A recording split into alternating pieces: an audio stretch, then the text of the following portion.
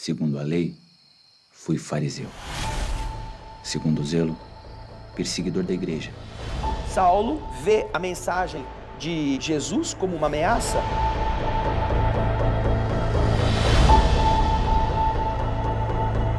Vós sempre resistis ao Espírito de Deus.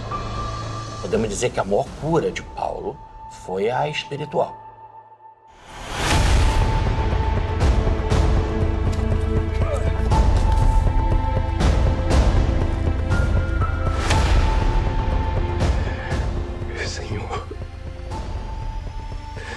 Não lhes impute esse erro.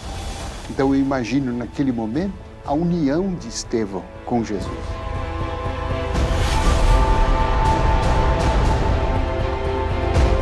Paulo prega uma ressurreição espiritual. Então ele venceu todos os limites. E ele disse-me: Eu sou Jesus, Nazareno, a quem tu persegues.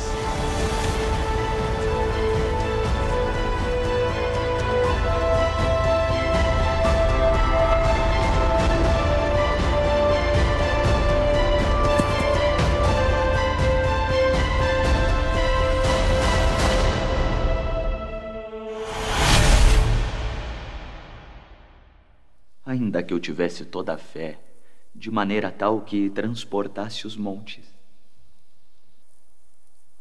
e não tivesse caridade, eu nada seria.